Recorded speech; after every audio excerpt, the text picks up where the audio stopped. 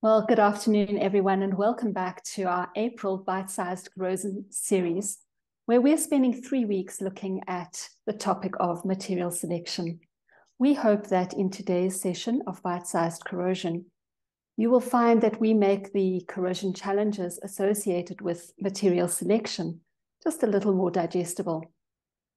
Now, last week we looked at some key considerations that guide our choice of material and one of Neil Webb's key points was that sometimes the costs and perhaps restricted use parameters may make the choice of what we might call an ideal material impractical and therefore less than ideal. So today we're going to explore some complex polymer materials which can be used, mostly not independently or standalone, but using, say, a mild steel structure as its support. So today I'm really delighted to welcome Donovan Slade to the microphone. Many of you will know Don. He has more than 30 years experience with polymeric systems and raw materials for these, especially polyurethanes and polyurethanes in all their forms as coatings, as adhesives, as sealants, and as elastomers. He's also been exposed to many construction chemicals and explored their uses in waterproofing systems and abrasive resistant liners and corrosion mitigation coatings in many environments. So I really think Don is going to be uh, a well worthwhile resource for us to tap into today. And I just want to congratulate Don. He's just recently completed his MBA and he's also just completed some of the AMPP courses, the SSPC C1 and C2, to add to his collection of the CIP uh, 3, which is the senior coatings um, Inspector and PCS Advanced. So Don, you've definitely got these um, organic substances down pat. So congratulations and welcome. It's wonderful to have you with us. Thank you, Vanessa. Thanks for having me. That's a pleasure. Now, Don, in our last bite-sized corrosion, Neil Webb and I were discussing, as I said, some key considerations for material selection. And whilst we obviously looked at mechanical strength, we also looked at the importance of considering the environment and the design life, and that from our perspective, corrosion resistance is critical. And in our discussion, we observed that steels aren't always suitable and that some sort of complex polymer might provide the corrosion resistance required. Now, I think let's just start right there. Complex polymer uh, starts to make me feel a little uneasy can you explain that in very simple terms, perhaps? I think the easiest way to explain it is it's a plastic. So okay. if you depends what you add into it, or what additives you're adding to it, and what fillers you're adding into that uh, complex polymer or plastic, what makes it perform and gives it its physical properties. Now, if you look at a polyurethane, which obviously I've been, as you stated, I've been involved in for 30 years, you would have a polyol and you would have an isocyanate and in that polyol, you'll have various additives, be it uh, moisture absorbers, UV stabilizers, and then you'll also have an, an additive which gives you a hardness of your polymer. So with PUs, you're able to have the hardness from a triple naught, which is a very soft gel, to something that is an 85 Shore D, which is as hard as uh, you know your skeleton bones, and anything in between. So I think that probably sums up a complex polymer as best as I can put it. Thank you. I'd like to look in a little bit more detail at polyurethanes because that's obviously where your tremendous experience lies. Just as we start off, you mentioned that we're dealing with a monomer and an isocyanate. And I know that can raise the hackles of health people. The word cyanide in any form makes us a little bit scared. So can you put us at ease, perhaps? I hope. Yeah, it's it's an isocyanate, not cyanide. So it's not okay. cyanide, it's an isocyanate. But as any chemical that deserves the respect of who's using it and who's applying it. So my suggestion would be to use a double organic uh, paint mask when uh, operating with isocyanates and also wear you know gloves and PPE. I think all polymers and all chemicals, it doesn't matter what it is, you know, should be given the respect that it deserves. And if we're talking about that, when I'm looking at a polyurethane liner of a tank, for example, or the external of maybe a complex valve that has got a polyurethane on. I'm not dealing with that isocyanate at that level any longer, am I? That's been completely combined into the polymer. Yeah, when it's uh, mixed in the correct ratio, then it's fully inert and uh, fully reacted. So you won't have any free isocyanates typically. When you're spraying these polymers, you must give it the respect that it deserves and wear the, the PPE as best as possible. When it's actually applied and it's cured and it's hard and it's got its physical properties, it won't have any free isocyanates anymore. Okay, so we can all breathe a sigh of relief. Thank you. Don, where could we use polyurethanes as we're looking now as a material of construction in those sorts of industries? Yeah, I think a good place is a tank. You know, the, the whole thing about polymers and polyurethanes is quite vast. So I think to be specific, if we could start on a tank. So if you're looking at a tank, you get different types of tanks. So you get a concrete tank, you get a mild steel tank, stainless steel tank, and you also get a galvanized tank. And then you get different types of tanks, like a Braithwaite tank that has a lot of movement and so forth. And these tanks hold different medium. It might be an abrasive medium, it might be alkaline medium, could be an acid medium, or it could be a com combination of all three. So, or, or, two, should I say. So, depending on what the substrate is, is depending what system you would start to plan and, and start to use. So, my suggestion would be do a site inspection, get, gather as much information as possible from the asset owner, uh, get the tank information, a lot of the time it's quite difficult to get that tank information, but get the information of what, what is actually going in the tank, what has been in the tank, what's the history of the tank, and what temperature does the tank uh, operate at. You know, temperature and acids in particular, and alkalines in particular, you add, you add temperature, it makes it more aggressive. Mm. So if mm. you're looking at a concrete tank, you would need to use a primer, and the primer would be quite specific because you could have high moisture content of the concrete, so you'd have to use a moisture barrier and a hydrophobic epoxy primer to dissipate uh, any moisture that may be there. And the PU would be brush applied or spray applied onto that. And then if you're looking at stainless steel or mild steel or galvanized tanks, we'd have various different primers that are suitable for that substrate to be applied. And then the PU would be brush applied or spray applied uh, over the specific primer. So what I'm hearing you say is that uh, when we would construct our vessel, we're actually looking at almost a three layer system. We've got our steel, let's call that the first layer. Then we've got an adhesive in the middle, and then we've got the polyurethane, which will be in contact with our aggressive medium. Yeah. Polyurethane isn't a, a polymer for all applications. So it would really depend what acid is, is going in, into that tank. If it was an high sulfuric acid uh, uh application or a high temperature application, possibly an, another chemistry would be more suitable, like a vinyl ester and, and so forth. But people like to use polyurethanes because they're quite easy to apply. You can apply them with single component airlesses, some of the formulations. Some of them take plural component, and others take brush and, and roller applied. So my recommendation would be, as stated before, gather as much information as possible, contact the manufacturers that uh, you're used to, to dealing with, and speak to their labs and, and chemists and give them the information that you have and be as, as honest as, as possible. And uh, once uh, they have that information, they can specify the correct grade of, of PE to use. And then also make sure that you choose a contractor that uh, has a lot of experience in uh, applying uh, polyurethanes because they can be quite tricky, especially with plural component equipment. Some of these uh, deviations on formulation and spray only have a 3% deviation. So if you don't have an experienced uh, applicator, you know, you can have the best system and best design, but the applicator may not be, you know, educated in a way to use it. And then the whole contract is an absolute mess. Yeah, you don't want the equivalent of me baking a cake where it says a cup and I go, oh, this is about right. You actually need to be really accurate.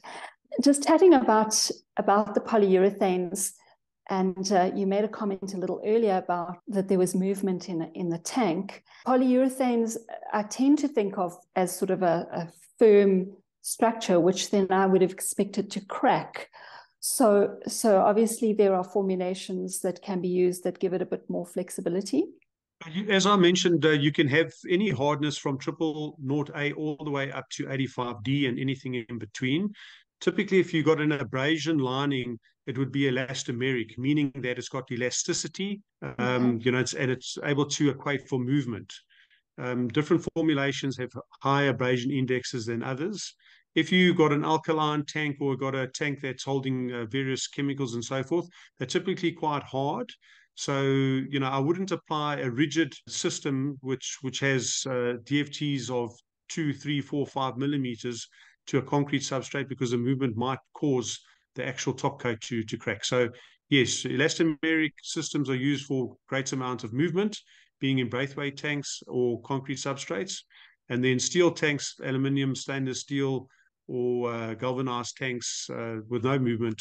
You know, you can go for the harder systems. And when I talk about hardness, you're typically looking at anything from about a 65 Shore D up to an 85 Shore D. The reason why we use the harder systems for chemical applications is because the permeation is a lot lower because these systems typically have various amounts of fillers and so forth in them that gives them greater amount of chemical resistance. Is the amount of cross-linking in the polymer related directly to the uh, catalyst and the formulation. Does the cross-linking tie up as well with the uh, hardness or the rigidity of the product? Well, not to get too involved in the chemistry because I know we can get both of us can get carried away because it is our passion, Vanessa. But you got if you got a high functionality of a of a polymer with a medium equivalent weight, and you got a product with a high NCO, you typically would have multi, multiple cross linking and you have a multiple branch polymer. And with that, because it's multiple branch and not a, a linear segment, you would have a hard polymer that has a, a, low permeation. But obviously, adding fillers and so forth would add to the lower permeation of the actual polymer. So when you talk about catalysts in polyurethane, we don't have an A and a B system. We talk about a polyol, and we talk about a cross-linker, and we talk about an isocyanate. A catalyst is something that you add in in drops to make the reaction go quicker. It's not a catalyst that you would add as your B component, component if that makes okay. uh, any sense.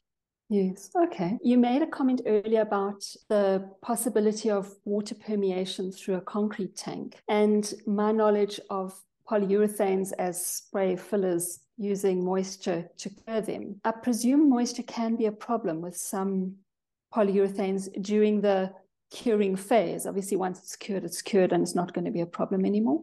It depends on what the chemistry is because the chemistry is quite vast. So if you have a moisture curing urethane, you know, it, it wants water, not too much water, but it, it wants to attract water from from the air and pull it in and actually cure. But if you're talking about a, a two component system where you have an A and a B or a polyol and an isocyanate system, you don't want to incorporate water because if you incorporate water, it will start to foam and then the aesthetics of your actual application will look terrible and also you wouldn't be getting the optimum physical properties. So what formulators typically do is they add additives into the polyol which are water absorbers so the molecular sieves. So if you have a water molecule it encapsulates a water molecule doesn't allow it to take place in the reaction. However you can't be putting 30, 40, 50% of the water scavengers into your formulation because then you won't be able to use it. So it would only help in initial stages. And if there's excess water, it will foam. Would you give us some examples? We've mentioned some cases where polyurethanes can be used. In fact, maybe you can give us some further examples of where polyurethanes can be used. In which sort of environments would it would they have good application? I think uh, you know the most common ones that we all understand is the aliphatic PUs, which are used for aesthetic purposes and to protect what's lying underneath it. And they, those would be the UV stable aliphatic paint thin film coating paint systems. Then the most common place in the piping industry are the rigid polyurethanes or the RPUs, which are direct to metal uh, applications. And those are sprayed by a plural component. But other more exotic applications that maybe some of your listeners might not be not be used to is you get doming resins, you know, those stickers with the decals and their clear coating on top of it. That's actually a mm-hmm. polyurethane. It's an aliphatic polyurethane with uh, UV stabilizers to make sure it doesn't yellow and, and so forth. And that comes in flexible and non-flexible, hard, rigid grades. And then if you're driving on the highway, you'll see some of the pickup trucks or bakkies, like call them in South Africa, the black coating on the back. That's that is also a, a bakkie lining or a or a polyurethane. And then in the casting industry, when I say casting, you're actually not spraying the polymer, you're actually mixing and either hand casting or dispense casting it into various mining parts. And those mining parts would be scraper blades, flotation pots, that can be uh, caster wheels, you know, that you would see on uh, forklift tires and, and, and so forth. Okay, so it's got a broad application and use around. So then I have to ask you, to be honest, and tell us where should we not use them? Yeah, I think, uh, you know, polyurethanes can be used in possibly most applications. And that's the reason is, is because they're so easy to apply. As I mentioned earlier, they can either be brushed, uh, uh you know, or rolled or airless sprayed or plural component spray, but they're not always the most suitable for those applications, even though they can be used. And uh, I would say if you start getting to the higher percentage of aggressive chemicals, I wouldn't use PUs. I would start looking at uh, the vinyl esters, uh, the phenolics, and all that, those type of polymers. Um, also, when there's high temperature uh, involved, especially if it's high temperature with an acid or an alkaline or so forth, that makes it more aggressive. So PUs typically, uh, the standard ones that we use, which are the MDI types and the TDI types, you're looking at constant temperatures of between 65 and 100 degrees Celsius, depending on the formulation. Somebody might argue and say, yeah, but I've seen PUs that have heat deflections of 180 degrees Celsius. Yes, you do have those, but those raw materials are quite exotic and they're used not typically in spray applications, but in casting applications. And then just you mentioned raw materials, and I'm always very cognizant that living at the bottom end of Africa, getting raw materials can be quite challenging. Are there any considerations we need to take into account when we're looking at materials as to where we source our either our polyurethane or our raw materials to make our polyurethane? Do we need to be cautious in any regard? Thinking like Europe, America as suppliers? Well, typically raw materials come from from Asia and also Europe, not really North America as in the past. So China, Vietnam, Thailand, uh, that type of uh, Southeast Asia and China mainland have really started dominating on, on the raw materials with regards to polyurethanes. So my suggestion would be, and which has been commonplace in, in most systems houses or manufacturers of polyurethane systems in South Africa, is that they would source these raw materials and test them to stringent international standards. Then after testing them, they would obviously put them out into the field and make sure that they are able to, you know, survive uh, what they've been designed to survive against. So it, it wouldn't be just buying raw materials, putting them in a formulation, the next week, you know, they've been used by a customer. There has to go through rigorous amount of testing and approval to quantify where possibly the shortcomings may be. And if they don't meet up to the specification that the raw material supplier or the, the converter or manufacturer has, then those would be discounted and not used. So testing is important and making sure that that those raw materials live up to the physical properties that have been promised on a technical data sheet. Allied to that question, I think, Don, do you find that formulations have to be changed to deal with South African conditions? Most definitely. I, I gave an example uh, previously to somebody, and that was Richards Bay.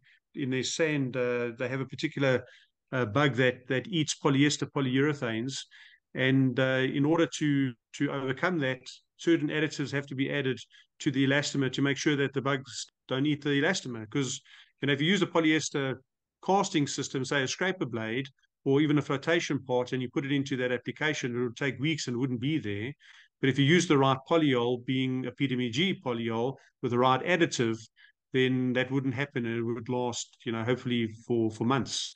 So mm-hmm. that would be more in the slurry applications, uh, like your your pipeline, slurry liners, and flotation parts. Great. And I'm also sure that anything exposed to the sun in this country needs to have been tested that it can withstand the, the sun here because it does seem to be quite harsher. Yeah, then it comes to cost because you do have aliphatic polyurethane coatings and you also have aliphatic polyurethane uh, elastomers. But, you know, aromatics, which are the non-UV stable grades, are typically used because of the costs are much, much less than aliphatic grades. If you're looking at coatings, you can overcome the UV by specialized additives, be it your pigment, be it your UV stabilizers, which will last for a couple of months, or it would be the fillers that you use would help it. But your binder is non-UV stable, so that will start to chalk. The polyaspartic is designed for UV resistance and it would be more suitable for the application. In the aliphatic range, just to explain, in the past you only had aliphatic PUs. Now you have polyaspartic PUs, which are actually a lot better than a, the aliphatic grades uh, in with regards to UV resistance. So if anybody's listening and you want to know what to look at for PUs besides uh, aliphatic PUs, look at polyaspartics. I'll put that one into our vocabulary list. Thank you. Yeah, Don, I think this has been a really interesting discussion. I'm learning so much and thinking, wow, lots of uses and also lots of cautions about uses. And would it be worth, when you are looking at a new, perhaps, application of a polyurethane to run testing to make sure that the uh, combination of the steel structure and the polyurethane that we think is going to do the trick, that it's suitable for the course? Are there sort of routine tests one can do? Well, you, you never know that the information that you receive about a tank or a pipeline is 100% correct. So I would suggest that coupons are coated like you would want to coat the finished item and test it over a couple of months and see how it performs you know, you, could be dealing with millions of dollars or millions of rand. So it would be most, you know, advisable to do that. And then also ask the, the supplier, the manufacturer to give you test data. You know, they have Atlas cells and in Atlas cells, they put different medium of chemicals exposed to oxygen and uh, fully submerged that can give you that information if it's resistant to it and get a relationship with the manufacturer, in particular, the laboratory of the manufacturer and uh, you know specify the correct material for for application and do extensive testing. Right. Basically do your homework as you would for the yeah. choice of any material. Just looking at other options so you mentioned earlier that polyurethanes although you love them are not necessarily the answer to every application. Let's just brainstorm a couple of other options that we could possibly use as a say a tank liner uh, in our applications well, we did mention vinyl esters. You know, mm-hmm. vinyl esters have excellent uh, chemical resistancy, especially on the higher percentages.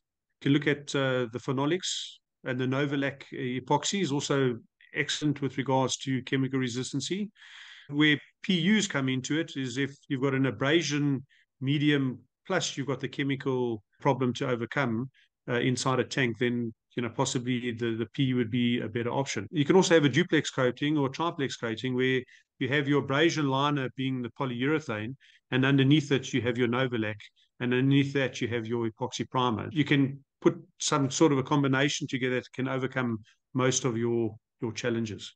Right, and then of course there's still glass, there's rubber. I mean, those are other options that that would be available. And PUs can um, bond to glass if you've got the correct primer.